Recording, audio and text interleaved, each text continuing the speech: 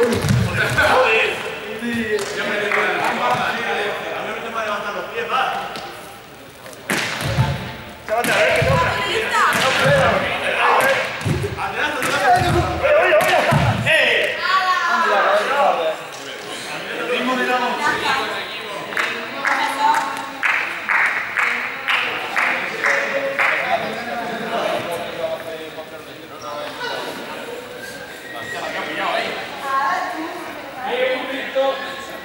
un momento quiero comentar dos cosas.